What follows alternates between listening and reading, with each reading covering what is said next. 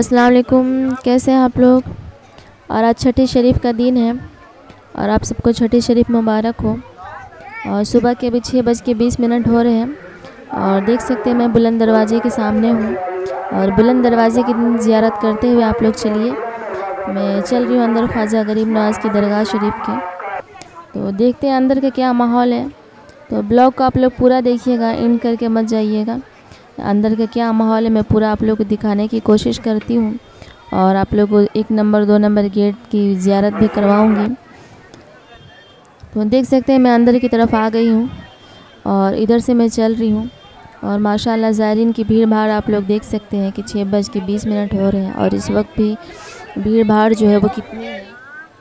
और मुहर्रम की वजह से अभी जो भीड़ भाड़ है ना, इस छठी शरीफ पे वो काफ़ी है, बहुत ज़्यादा है अभी सात बजे तक तो भीड़ भाड़ थोड़ी सी कम रहेगी और सात बजे के बाद में तो यहाँ से जाने की जगह भी नहीं रहेगी। तो मैं अभी चल रही हूँ, आगे चल के देखते हैं क्या माहौल है। तो मैं आप लोग को ज़्यारत करवाते हुए चलती हूँ। और अभी इधर से ना मैं थोड़ा सा आप लोग को अकबरी मस्जिद की ज़्यारत करवाऊँगी।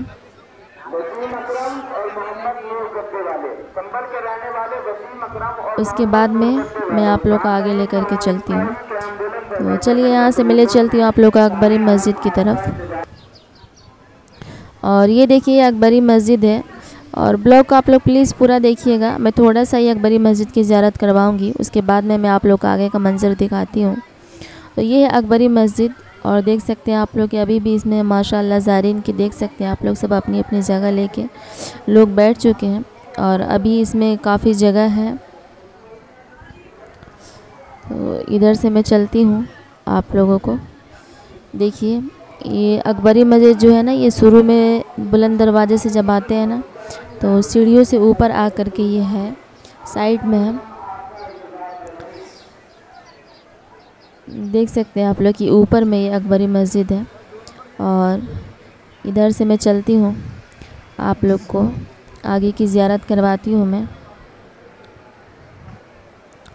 देख सकते हैं आप लोग कि माशाल्लाह ज़ारीन की जो भीड़ भाड़ है, वो कितनी है। और किस तरीके का माहौल है अभी। तो आप लोग चलिए मेरे साथ में ज़्यारत कीजिए। आप लोग को बाबा फरीदुद्दीन का चिल्ला शरीफ है, वहाँ भी ले चलूँगी मैं आप लोग को। और अभी मैं धीरे धीरे थोड़ा चल रही हूँ ना, क्योंकि भीड़ भाड़ जो है वो काफ़ी है तो मैं आराम आराम से चल रही हूँ। और आप लोग को, आप लोग की भी ज़्यारत हो रही है मेरे साथ में। आप लोग भी ज़्यारत करते हुए मेरे साथ में चलिए और ब्लॉग आप लोग पूरा देखिएगा।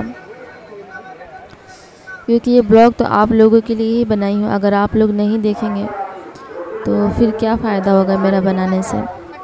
और आप लोग जितना ज़्यादा देखिएगा और जितना ज़्यादा शेयर कीजिएगा, ज़्यादा लोगों तक पहुँचेगा तो मेरा भी हौसला बढ़ेगा।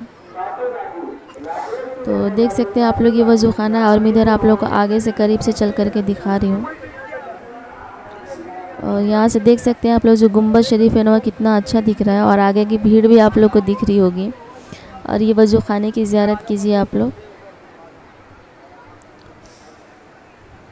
और मैं यहाँ खड़ी होना शायद इसको महफिल खाना कहते हैं। इसकी कवाली वगैरह का प्रोग्राम जो होता है ना तो इसके अंदर ही होता है। मैं वहीं सीढ़ियों पे खड़ी हूँ, अंदर की भी मैं आप लोग को ज़्यारत करवाऊँगी। और ये बड़ी देग है, देख सकते हैं आप लोग। ये और देख सकते हैं अभी का क्या माहौल है आप लोग। और इधर में देखिए, बाबा फरीदुद्दीन के चिल्ला शरीफ जाने की वजह से कितनी भीड़ भाड़ यहाँ पे है। बिल्कुल भी जाने की अभी तो जगह नहीं है। और ये देखिए, जहाँ मैं खड़ी थी, वहाँ अंदर का ये माहौल है। ये देखिए, शायद इसे महफिल खाना कहते हैं। मुझे पता नहीं है, लेकिन इसके अंदर कवाली वगैरह का प्रोग्राम होता है, मैंने देखा है। और देखिए यहाँ पर थोड़ी सी भीड़ भाड़ जो है, वो कम हुई थी तो मैं इधर आई। और देख सकते हैं आप लोग कितनी भीड़ भाड़ है। और इस तरफ़ से तो जाना बिल्कुल नामुमकिन है। देखिए आप लोग कितनी भीड़ है आगे तक में।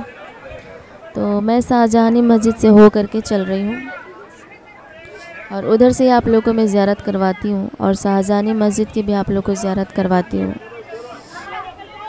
और यहाँ तो मैं कोशिश की थी कि मैं बाबा फरीदुद्दीन का चिल्ला शरीफ की ज़्यारत करवाऊँ आप लोगों को, लेकिन इतनी भीड़ में तो नामुमकिन है।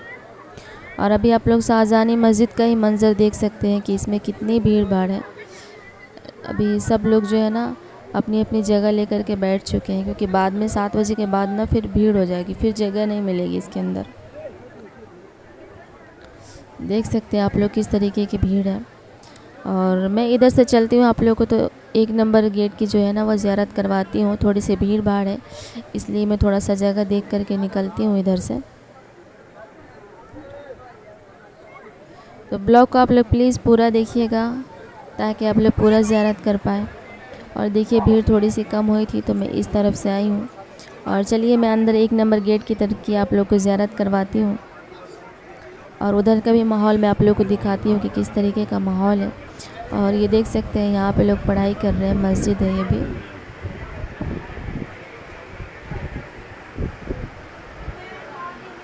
और इधर से मैं चल रही हूँ।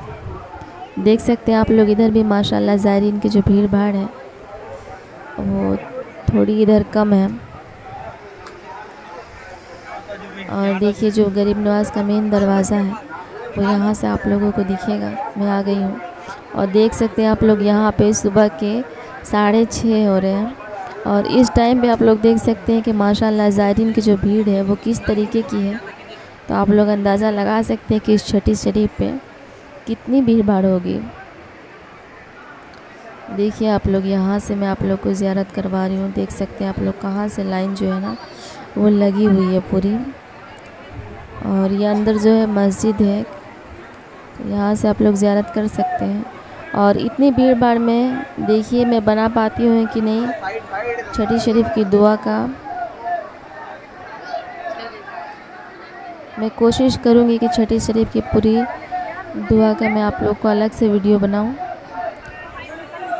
और आप लोग देख सकते हैं इधर से। मैं कोशिश कर रही हूँ कि मैं आप लोग को एक नंबर गेट की पास में चल के ज़्यारत करवाऊँ, लेकिन भीड़ भाड़ इतनी है कि शायद मैं वहाँ तक नहीं पहुँच पाऊँगी।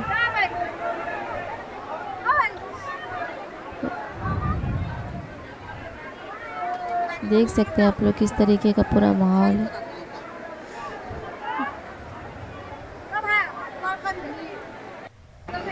तो भीड़ जो है ना, वो काफ़ी थी, और मैं उतना ही आप लोग को ज़्यारत करवा पाई हूँ। तो आप लोग का ब्लॉग देखने के लिए बहुत बहुत शुक्रिया आप लोगों का।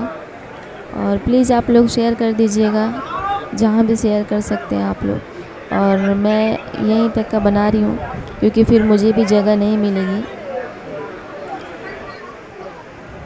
तो मिलते हैं अगले ब्लॉग में, इंशाल्लाह मैं कोशिश करूँगी कि छठी शरीफ की दुआ का पूरा डालूँ आप लोगों को।